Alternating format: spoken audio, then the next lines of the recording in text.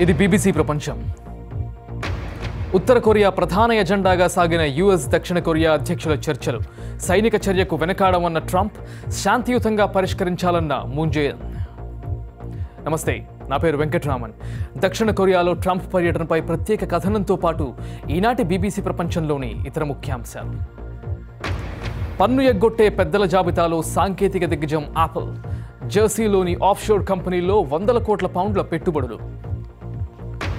ప్రపంచాన్ని కుదిపేసిన రష్యా విప్లవానికి వందేళ్ళు. రష్యాలో ఆరు వేల కిలోమీటర్లు ప్రయాణించి బీబీసీ అందిస్తోన్న స్పెషల్ రిపోర్ట్. వందేళ్ళుగా ప్రయాణికుల్ని అలరించిన బంగ్లాదేశ్ స్టీమర్లకు కష్టకాలం.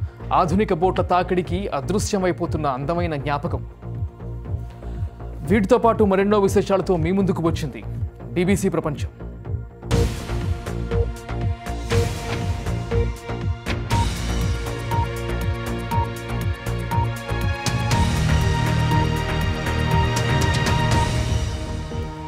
ఉత్తర కొరియా ప్రపంచానికి ఒక పెనుముప్పు అన్నారు అమెరికా అధ్యక్షుడు డొనాల్డ్ ట్రంప్ రెండు రోజుల పర్యటన కోసం దక్షిణ కొరియా చేరుకున్న ట్రంప్ అక్కడి అధ్యక్షుడు మూన్ జేయిన్తో చర్చల్లో ఉత్తర కొరియా ప్రధాన అంశమని స్పష్టం చేశారు North Korea is a worldwide threat that requires worldwide action. ఉత్తర కొరియా అంశంలో ప్రపంచ దేశాలు ఒక్కటిగా చర్యలు చేపట్టాలి.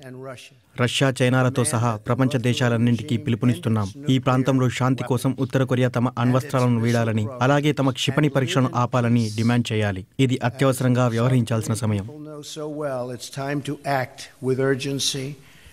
and with great determination. ఇక ఉత్తర కొరియాతో చర్చల ద్వారా సమస్యను పరిష్కరించాలి అనే విషయంలో ట్రంప్ మూన్ జైన్ల ఆలోచన విధానంలో తేడాలున్నాయి. చర్చలతో సమస్య పరిష్కారం అయితే అందరికీ మంచిదే అని ట్రంప్ అంటున్నా అలా చేయడం గత్యంతరం లేక ఒక మెట్టు దిగినట్టే అని ఆయన భావిస్తున్నారు. దీనిపై ఒక స్పెషల్ రిపోర్ట్. ఈ ఆహ్వానాన్ని చూస్తే ఒక పురాతన అనుభూతి కలుగుతోంది. కానీ ప్రెసిడెంట్ ట్రంప్ ఒక ఆధునిక ముప్పు పొంచి ఉన్న నేపథ్యంలో దక్షిణ కొరియాకు వచ్చారు. ఆప్యాయంగా పలకరించుకుంటున్న ఒక ముఖ్యమైన విషయంలో ఈ ఇద్దరు నాయకులు భిన్నాభిప్రాయాలతో ఉన్నారు. అది ఉత్తర కొరియా అణ్వస్త్ర ఆశయాల సమస్యను ఎలా ఎదుర్కోవాలి? దక్షిణ కొరియా రాజధాని సౌల్లో కూడా భిన్నాభిప్రాయాలు కనిపిస్తున్నాయి. కొంతమంది ప్రజలు దక్షిణ కొరియా అధ్యక్షుడు మూన్ జోయిన్ వాదనను సమర్థిస్తున్నారు. కొరియన్ పెనిన్సులాలో మరో యుద్ధం జరగకూడదు అంటున్నారు వీళ్ళు. మరికొందరు ఉత్తర కొరియా అధినేత రాకెట్ మ్యాన్ అంటూ ట్రంప్ అనుసరిస్తున్న కఠిన తీరును సమర్థిస్తున్నారు. దక్షిణ కొరియా అధ్యక్షుడు వ్యవహరిస్తున్న తీరు సరికాదు అంటారు ప్రెసిడెంట్ ట్రంప్. చర్చలతో సమస్యను పరిష్కరించాలన్న మూంజైన్ వ్యాఖ్యలకు ట్రంప్ సమాధానం ఇలా ఉంది. I really believe that it makes sense for North Korea. ఉత్తర కొరియా చర్చలకు సిద్ధమై ఒక ఒప్పందానికి వస్తే అది ఉత్తర కొరియా ప్రజలకి ప్రపంచంలో అందరికీ మంచిదని నేను గట్టిగా నమ్ముతున్నాను. అయితే చూద్దాం ఏమవుతుందో. yes, but let's see what happens. President Trump. దక్షిణ కొరియాను రక్షించే విషయంలో ప్రెసిడెంట్ ట్రంప్ ఉక్కు సంకల్పంతో ఉన్నారని ఆయన మళ్ళీ స్పష్టం చేశారు. ఉత్తర కొరియాతో సమస్యను చర్చల ద్వారా పరిష్కరించాలని ప్రెసిడెంట్ ట్రంప్ నేను అంగీకరిస్తున్నాను. ఉత్తర కొరియా విషయంలో తాము ఒకే తాటిపై ఉన్నామన్న సంకేతంతో పాటు తమరి సైనిక కూటమి అన్న విషయం కూడా స్పష్టంగా ప్రపంచానికి తెలియజెప్పాలి అని రెండు దేశాలు భావిస్తున్నాయి. ఇప్పుడు ప్రపంచవ్యాప్తంగా బీబీసీ ప్రతినిధులు అందిస్తున్న కొన్ని ముఖ్యమైన వార్తలు సంక్షిప్తంగా. ఆఫ్ఘనిస్తాన్ రాజధాని కాబూల్లోని టీవీ స్టేషన్పై దాడి జరిగింది. కనీసం ముగ్గురు వ్యక్తులు తుపాకులతో షంషాద్ టీవీ కార్యాలయంపై దాడికి పాల్పడ్డారని పోలీసులు తెలిపారు. ఆగంతకులు సెక్యూరిటీ గార్డ్పై కాల్పులు జరిపి గ్రెనేడ్లు విసిరారు. ఎంతమంది చనిపోయారనే వివరాలు ఇంకా తెలియలేదు. ఇందులో తమ జోక్యమేమీ లేదు అని తాలిబాన్లు ప్రకటించారని బీబీసీ పష్తో తెలిపింది. టెక్సస్ చర్చ్లో కాల్పులు జరిపి ఇరవై ఆరు మందిని చంపిన వ్యక్తి గృహహింస కేసులో దోషి అనే విషయాన్ని రిపోర్ట్ చేయడంలో విఫలమైనట్లు అమెరికా వైమానిక దళం ప్రకటించింది. అలాంటప్పుడు డెవిన్ కెల్లీకి ఆయుధాల్ని అమ్మడం చట్టవిరుద్ధమవుతుందని బీబీసీ న్యూస్ తెలిపింది. గత రాత్రి హతుల కుటుంబ సభ్యులు కొవ్వొత్తులతో సంతాపం ప్రకటించారు. మంత్రివర్గం రాచకుటుంబం వ్యాపార వర్గాల ప్రక్షాళన కార్యక్రమంలో భాగంగా సౌదీ అరేబియా అధికారులు డజన్ల కొద్దీ మందిని ప్రశ్నించి నిర్బంధించారు. ఇదంతా సౌదీ యువరాజు మహమ్మద్ బిన్ సల్మాన్ తన అధికారాన్ని సుస్థిరం చేసుకోవడం కోసమే చేస్తున్నారని విమర్శకులు అంటున్నారు. ఆయనను దార్శనికుడైన సంస్కర్తగా భావించాలా? లేక అధికార దాహానికి ప్రతిరూపం అనుకోవాలా? ప్రముఖుల అరెస్టులకు ఆదేశాలు ఇచ్చిన తర్వాత సౌదీ అరేబియా యువరాజు ప్రిన్స్ మహమ్మద్ బిన్ సల్మాన్ను అందరూ ఇలా రెండు విధాలుగా అభివర్ణిస్తున్నారు. అధికారికంగా ఈ రియాద్ హోటల్లో సకల లాంఛనాలతో బందీ అయిన వాళ్ళలో పదకొండు మంది రాజకుమారులు నలుగురు మంత్రులు మరికొందరు సౌదీ ప్రముఖులు ఉన్నారు. అవినీతి ప్రక్షాళన అంటూ చేపట్టిన కార్యక్రమంలో భాగంగా వీళ్ళందరినీ నిర్బంధించారు. అరెస్ట్ అయిన వాళ్ళలో అందరికన్నా ముందు నిలిచిన వ్యక్తి అత్యంత సంపన్నుడైన రాజకుమారుడు అల్ వలీద్ బిన్ తలాల్. ఆయన లండన్ సెవోయ్ హోటల్ యజమాని. ట్విట్టర్ యాపిల్ కంపెనీలలో ఆయనకు పెట్టుబడులున్నాయి. ప్రిన్స్ చార్లెస్కు ఆయన స్నేహితుడు. సుసంపన్నంగా ఉన్న సౌదీ సైన్యం ఇప్పుడు పూర్తిగా యువరాజు చేతుల్లో ఉంది. నేషనల్ గార్డ్ ఇన్ఛార్జిగా ఉన్న వ్యక్తిని మార్చిన తరువాత ఆయన అధికారానికి ఎదురులేకుండా పోయింది. అంతేకాదు యువరాజుకు చాలా శక్తిమంతులైన మిత్రులున్నారు. ఈ ముప్పై రెండేళ్ళ యువనాయకుడికి ట్రంప్ పాలకవర్గంతో సన్నిహిత సంబంధాలున్నాయి. ఆయన మత ఛాందసవాదం మీద విశృంఖలంగా పెరుగుతున్న అవినీతి మీద యుద్ధాన్ని ప్రకటించారు. ఉన్నత వర్గాల్లో ఇలాంటి ప్రకంపనలను ఎవరూ ఊహించలేదు. ఈ చర్యతో సంపన్న అరబ్ దేశం మీద యువరాజుకు ఎక్కడలేని పట్టు లభించినట్లయింది. అయితే చాలా మంది ప్రముఖులను బాహాటంగా అరెస్ట్ చేయడం వల్ల చిక్కులు ఎదురయ్యే అవకాశం ఉంటుంది. దీనివల్ల యువరాజు పేరు ప్రఖ్యాతులు బాగా పెరిగి ఉండొచ్చు. కానీ ఆయనకు శత్రువులు మరింతగా పెరిగిపోయారు. ది హౌస్ ఆఫ్ సౌదీ అవినీతిలో కూరుకుపోయిందనే అంశం చాలా సున్నితమైనది. ప్రజల నిధులకు సంబంధించిన విషయం కాబట్టి ఈ చర్యల వల్ల ఆయనకు బాగా పేరు రావచ్చు. కానీ బాగా బలంగా ఎదిగిన సంపన్న తరగతి తప్పకుండా ఎదురు తిరుగుతుంది కాబట్టి పెరుగుతున్న పేరు ప్రఖ్యాతులకు సంపన్న తరగతిలో పెరుగుతున్న ఆగ్రహానికి మధ్య ఆయన సమతౌల్యం సాధించాల్సి ఉంటుంది. ఆధునిక సౌదీ అరేబియా ఒక్కటైంది పంతొమ్మిది వందల ముప్పై రెండులోనే. ఈ దేశాన్ని కలిపి ఉంచిన బంధం ఇప్పుడు సడలే ప్రమాదం ఉందా? అన్నదే అందరినీ వేధిస్తున్న ప్రశ్న.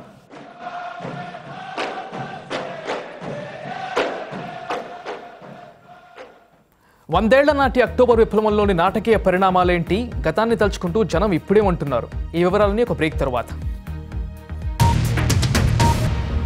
బీబీసీ ప్రపంచానికి తిరిగి స్వాగతం. నా పేరు వెంకట్రామన్.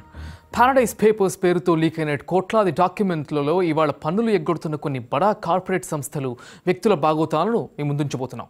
సాంకేతిక దిగ్గజం యాపిల్ కూడా చాలా వరకు పన్నులు కట్టకుండా దాచిన ధనాన్ని జెర్సీ దీవుల్లోని ఆఫ్షోర్ కంపెనీల్లో పెట్టుబడులుగా పెట్టింది. ఐర్లాండ్ పన్నుల విధానంలోని లోపాలను అవకాశంగా తీసుకుని పెట్టుబడుల్ని అటువైపు తరలిస్తోంది. అయితే యాపిల్ చేస్తున్నది చట్టవిరుద్ధమేమీ కాదు. కానీ ఆ సంస్థ పన్నుల విధానాన్ని యూరోపియన్ యూనియన్ అమెరికా అధికార వర్గాలు తప్పుబడుతున్నాయి. పారడైస్ పేపర్స్ వివరాలను జర్మనీకి చెందిన ప్రముఖ పత్రిక సు డాయ్చే జాయ్తంగ్ సంపాదించింది. వాటిని international consortium of investigative journalist సహా బీబీసీ పానోరమా అధ్యయనం చేసింది. మా బిజినెస్ ఎడిటర్ సైమన్ జాక్ అందిస్తున్న రిపోర్ట్ తాజాగా విడుదలైన ఐఫోన్ ఫీచర్స్ను చూసి పులకించిపోయాం. కన్స్యూమర్ ప్రొడక్ట్ విభాగంలో అత్యంత విజయవంతమైన ఉత్పత్తిగా యాపిల్ చరిత్ర సృష్టించింది. అది జనాల్లోకి వచ్చిన పదేళ్ళ నుంచి వేల కోట్ల రూపాయల ఆదాయాన్ని ఆ సంస్థకు తెచ్చిపెడుతోంది. ఈ పేపర్లు ఆపిల్ సంస్థ తనకొచ్చిన లాభాలపై వీలైనంత తక్కువ పన్నులు చెల్లించేందుకు ఎలా ప్రయత్నించిందో అందుకు కొందరు ప్రభుత్వ అధికారులు న్యాయవాదులు సలహాదారులు ఎలా సాయం చేశారో స్పష్టం చేస్తున్నాయి. కొన్నేళ్ళుగా యాపిల్ తనకొచ్చిన లాభాలను అమెరికాకు ఆవల పన్నులు కట్టాల్సిన అవసరం లేని ఐర్లాండ్కు తరలిస్తూ వస్తోంది. వందల కోట్ల డాలర్ల ఆదాయాన్ని పన్ను చెల్లించకుండా తన కార్పొరేట్ సామ్రాజ్యాన్ని విస్తరిస్తోంది. రాజకీయ నాయకులు ఒత్తిడి తీసుకొస్తున్నప్పటికీ అమెరికాకు చెల్లించాల్సిన పన్నుల విషయంలో యాపిల్ సీఈఓ టిమ్ కుక్ మొండి వైఖరి అవలంబిస్తున్నారన్న విమర్శలున్నాయి. మేము అన్ని పన్నులు చెల్లిస్తున్నాం. సంపాదించే ప్రతి ఒక్క డాలర్కు బాధ్యతగా వ్యవహరిస్తున్నాం. మేం చట్టాన్ని గౌరవించడమే కాదు దాని స్ఫూర్తికి కట్టుబడి ఉంటాం. పన్నుల విషయంలో మేము ఎలాంటి గిమ్మిక్కులకు పాల్పడటం లేదు. అంటే పన్నుల విధానంలో ఇక అనుమానాస్పద పద్ధతులు అవలంబించబోము అంటారు. అవునా కాదా? బెర్ముడాలో ఉన్న యాపిల్ బీ సంస్థ నుంచి సేకరించిన పత్రాలను పరిశీలిస్తే ఐర్లాండ్ తన జీరో ట్యాక్స్ విధానానికి మంగళం పాడినప్పుడు యాపిల్ కంపెనీ తన పన్నుల్ని మరింత తగ్గించుకునేందుకు మరిన్ని కొత్త దారుల్ని వెతుక్కుంది. బ్రిటన్కు చెందిన పన్ను ఎగవేతదారుల ఏడు స్వర్గధామాల్లోని యాపిల్ బీ కార్యాలయాలకు ఒక ప్రశ్నావళిని పంపించారు. అందులో ప్రశ్నల ద్వారా వారి ఉద్దేశాలను కూడా స్పష్టం చేశారు. ఎలాంటి పన్నులు కట్టకుండా ఓ ఐరిష్ కంపెనీ మీ చట్ట పరిధిలో కార్యకలాపాలు నిర్వహించవచ్చా? జెర్సీలోని ఈ ఆఫ్షోర్ కంపెనీలకు నిధులను తరలించడం మొదలైన తర్వాత నుంచి కంపెనీ ఆదాయ వ్యయాల లెక్కల్ని గమనిస్తే ప్రపంచవ్యాప్తంగా ఆ సంస్థ చెల్లిస్తున్న పన్నుల్లో ఎలాంటి పురోభివృద్ధి లేదన్న సంగతి అర్థమవుతుంది. యాపిల్ చేస్తుంది ఎంత మాత్రం చట్టవిరుద్ధం కాదు. కానీ వందల బిలియన్ డాలర్ల ఆదాయంపై పన్నులు చెందాల్సిన ప్రభుత్వాలకు చెందకుండా అతి తక్కువ పన్నులు చెల్లించే అవకాశం ఉన్న చోట చిక్కుకుపోతున్నాయి. అవి దాదాపు అక్కడ వస్తున్న ఆదాయంతో సమానం. అదే పనిగా వ్యవస్థను ఎలా ఏమారుస్తున్నారు అనడానికి ఈ డాక్యుమెంట్లే సాక్ష్యం. అంతర్జాతీయంగా చర్చించి ఈ విషయంలో సంస్కరణలు తీసుకురావాల్సిన అవసరం ఉంది. అంతర్జాతీయ వ్యవహారాల అధిపతి మాత్రం సమస్య ఉందని అంగీకరించే ప్రయత్నం చేస్తూనే ఆ విషయంలో ఏం చేయాలో ఆలోచిస్తున్నామంటున్నారు. దీన్ని చట్టబద్ధం చేస్తున్న నియమాల్ని మార్చాల్సిందే. ఇవాళ వీటిల్లో చాలా కంపెనీలు చాలా తక్కువ పన్నులు కడుతున్నాయి. కొన్ని అసలే కట్టడం లేదు. ఇదే అసలు కథ. జరుగుతుందంతా ఇంతే. దీని గురించే మేము ఇప్పుడు ఆలోచిస్తున్నాం. నిజానికి ప్రపంచంలో ఏ ఇతర కంపెనీ చెల్లించని స్థాయిలో యాపిల్ చాలా పెద్ద మొత్తంలోనే పన్నులు చెల్లిస్తోంది. కానీ చాలామంది అనుకున్నంతగా కాదు. అలాగని ఇలా ఆఫ్షోర్ కంపెనీలో పెట్టుబడులు పెట్టే వాటిలో యాపిల్ మాత్రమే కాదు ఇతర మల్టీనేషనల్ కంపెనీలు కూడా ఉన్నాయి. ఒక్క అమెరికన్ కంపెనీలే సుమారు రెండు ట్రిలియన్ డాలర్ల పెట్టుబడులు ఆఫ్షోర్ కంపెనీలో పెట్టాయని అంచనా. పన్నుల్ని తగ్గించుకునేందుకు ఎగ్గొట్టేందుకు ఆ సంస్థలు వాటి సలహాదారులు ఎంత పకడ్బందీగా వ్యవహరిస్తున్నారన్న సంగతి పారాడైజ్ పేపర్లు బయటపెడుతున్నాయి. Simon Jack BBC news. ప్రపంచాన్ని ఓ కుదుపు కుదిపిన ఓ చారిత్రక సందర్భానికి ఇప్పుడు సరిగ్గా వందేళ్ళు. రాచరిక వ్యవస్థను అంతం చేసి కమ్యూనిస్టు వ్యవస్థను నెలకొల్పిన రష్యా విప్లవం శతవార్షికోత్సవం జరుపుకుంటోంది. ఈ సందర్భంగా ఆ చారిత్రక విశేషాలను అందించేందుకు మా మాస్కో ప్రతినిధి స్టీవ్ రోసన్బర్గ్ రష్యాలో ఆరు వేల కిలోమీటర్లు ప్రయాణించారు. రెడ్ అక్టోబర్గా సుపరిచితమైన ఆ విప్లవంలోని నాటకీయ పరిణామాలు పర్యవసానాలతో సంబంధం ఉన్న ప్రాంతాలను ఆయన సందర్శించారు. రష్యా చివరి జార్ చక్రవర్తిని ఆయన కుటుంబాన్ని బోల్షవిక్లు హత్య చేసిన ఎక్టరిన్బర్గ్ నుంచి స్టీవ్ అందిస్తోన్న ప్రత్యేక కథనం. స్వర్గం నరకం కలిసే చోటు ఏదైనా ఉందంటే అది ఇదే. దీన్ని రక్తసిక్తమైన చర్చి అని అంటారు. ఇక్కడే హత్యలు జరిగాయి. హతులు ఇప్పుడు దైవదూతలుగా గుర్తింపు పొందుతున్నారు. వారు మరెవరో కాదు రెండవ జార్ నికోలస్ ఆయన కుటుంబ సభ్యులు. ఈ చర్చిలోనే చక్రవర్తి కుటుంబ సభ్యుల్ని వారి సేవకుల్ని బోల్షివిక్లు ఉరితీశారు. తుపాకులతో కాల్చారు బాయినెట్లతో పొడిచారు. రష్యా చివరి చక్రవర్తికి అత్యంత క్రూరంగా పలికిన ముగింపు అది. బోల్షివిక్లు వారి నేరాలను బహిర్గతం కాకుండా చేసేందుకు ప్రయత్నించారు. ఎకటెరిన్బర్గ్లో వారి మృతదేహాలను కనుగొనేందుకు అరవై ఏళ్ళు పట్టింది. పంతొమ్మిది వందల తొంభై ఎనిమిదిలో రష్యా ప్రభుత్వం అధికారికంగా నికోలస్ ఆయన భార్య అలెగ్జాండ్రా ఇద్దరు కూతుళ్ళ మృతదేహాలను ఖననం చేసింది. రెండవ నికోలస్ సరైన నాయకుడు కాదు. ఎవరి మాట వినని నిరంకుశుడు. న్యాయాన్యాయాల విచక్షణ తెలియనివాడు. కమ్యూనిస్టులు అతడొక క్రూరుడనే ముద్ర వేశారు. కానీ ఈనాటి రష్యాలో పరిస్థితి మరోలా ఉంది. ఆ చర్చిలో దేవదూత నికోలస్ను పునీతుడుగా కీర్తిస్తున్నారు. రష్యా అనే పెద్ద నౌకకు ఆయన కెప్టెన్ లాంటి వారని నేను ఎప్పుడూ చెబుతుంటాను. ఆయన చివరి క్షణం వరకు ఆ నౌకలోనే ఉన్నారు. జార్ కాలం నాటి రష్యా నుంచే ఈ పాఠశాల స్ఫూర్తి పొందుతోంది. కానీ ఒక జార్ ఇప్పుడు రష్యాను పాలించడాన్ని వాళ్ళు ఇష్టపడతారా? Uh, కాలం మారింది. మేమిప్పుడు గతంలో మాదిరిగా రాచరికం గురించి మాట్లాడలేం. జార్ ఎలా పాలించాలనుకున్నారో అలాంటి పాలననే మా అధ్యక్షుడు అందిస్తున్నారు. ఒక విధంగా చెప్పాలంటే ఆయన అసలైన పాలకుడు నిజమైన దేశభక్తుడు.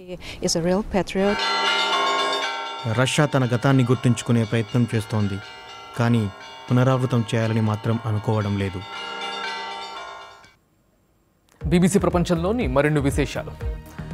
ఢాకా నౌకాశ్రయంలో శతాబ్ద కాలంగా తలెత్తుకు పయనించిన స్టీమర్లు ఇప్పుడు ఎందుకు చిన్నబోతున్నాయి? అవి ఎందుకు ప్రమాదంలో పడ్డాయి? అధికార బీజేపీలోకి వలసలు పెరుగుతున్నాయి. ఇతర పార్టీలకు చెందిన కొందరు నాయకులు కమలతీర్థం పుచ్చుకోవడంపై కార్టూనిస్ట్ కీర్తిష్ వ్యంగ్యాస్త్రం. ఈ వివరాలన్నీ ఒక బ్రేక్ తర్వాత.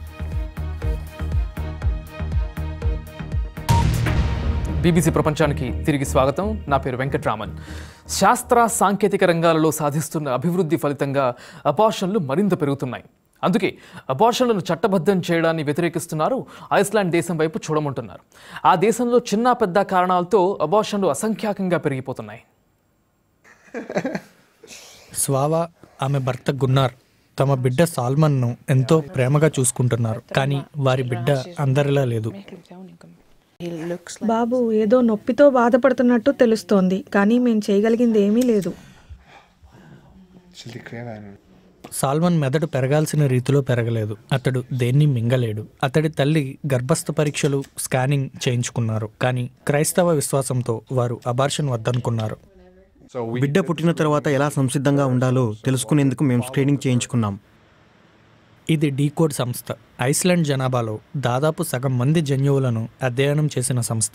అసాధారణ జీవ నిర్మాణాలు ఎన్నింటినో వీరు గుర్తించారు. డౌన్స్ సిండ్రోమ్ పరీక్షలు చేయించుకుని పాజిటివ్ ఫలితాలు వచ్చిన ఎంతో మంది తల్లులు తమ గర్భాలను తొలగించుకున్నారు.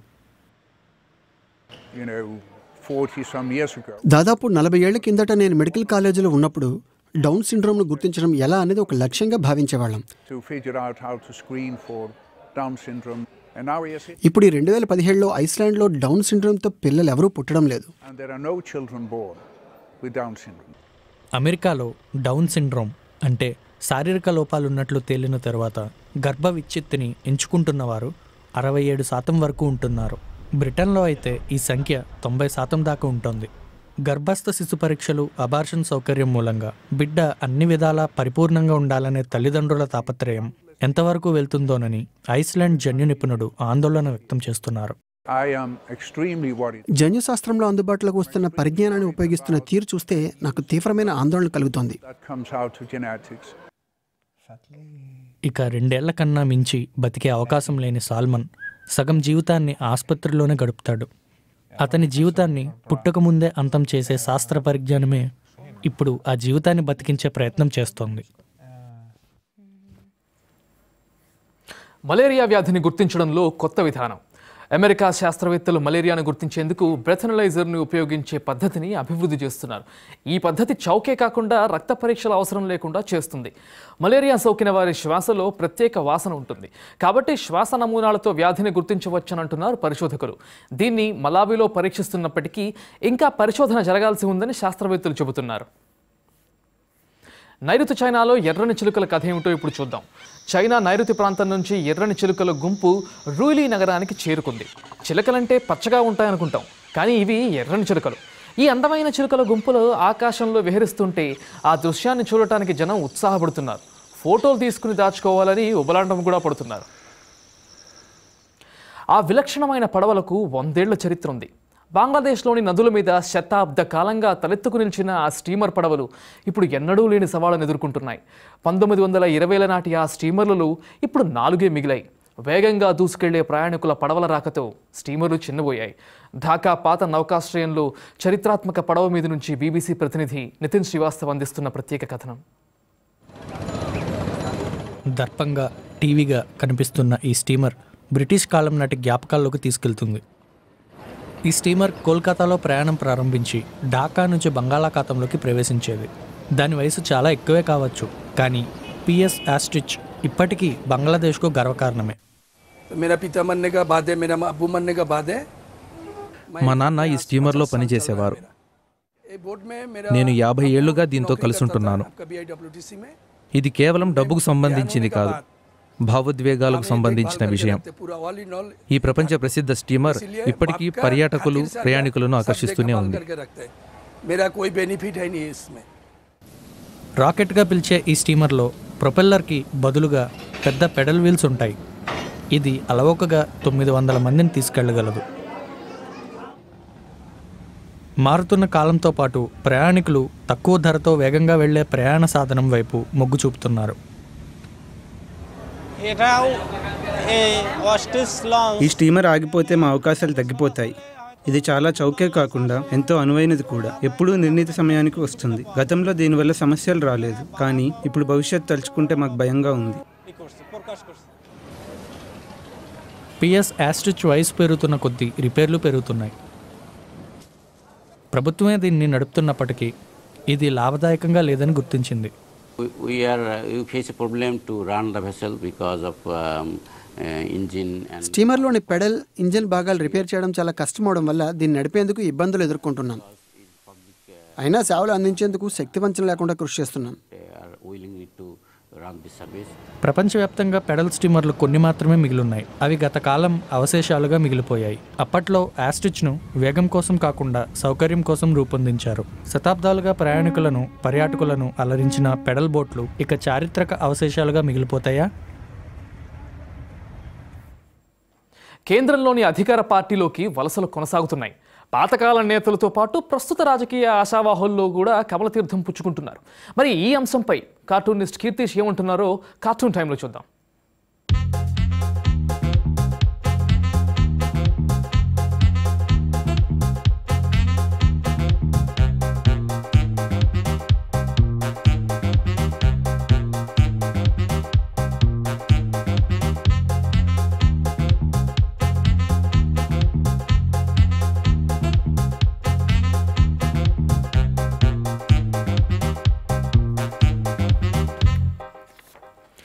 ఈనాటి ప్రధాన వార్తను ఒకసారి గుర్తు చేసుకుందాం. ఉత్తర కొరియా ప్రధాన ఎజెండాగా సాగిన అమెరికా దక్షిణ కొరియా అధ్యక్షుల చర్చలు.